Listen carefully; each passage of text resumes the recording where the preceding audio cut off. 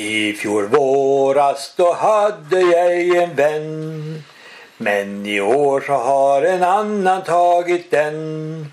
Ja, det hände sig i våras mina ögon börjar tåras varje gång jag tänker på min lilla vän.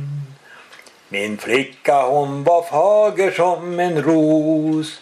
Hennes kinder voro liksom krösa mos.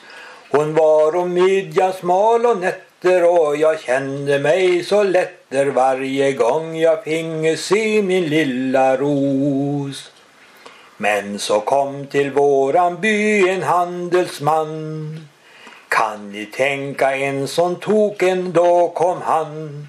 Och han fria till min flicka och han bliga och hon nicka. Ni må veta kära vänner, hon var grann.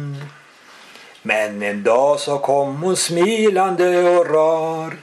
Kan ni tänka vad hos mig hon lämnar kvar? Jo, en kappsäck med en bytting, han var trinner som en kutting. På en lapp stod skrivet, jag var guttens far.